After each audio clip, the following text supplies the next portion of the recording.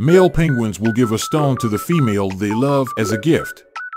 Perhaps that's the penguin version of giving a ring as a sign of love.